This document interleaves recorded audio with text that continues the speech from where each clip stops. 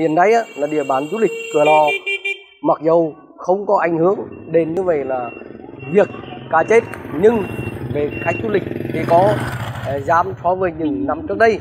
Nhưng với tinh thần trách nhiệm của một uh, cán bộ hội thì cũng phải làm tốt công tác tuyên truyền để cho dân được biết và các du khách người ta về tham quan nghỉ mát. Làm tốt như vậy là cái công tác tuyên truyền vận động thứ nhất là an toàn thực phẩm thứ hai là vệ sinh môi trường thứ ba đó là phải thực hiện tốt các cái uh, uh, chỉ thị năm công của ủy ban thị xã cửa lò trong mùa du lịch.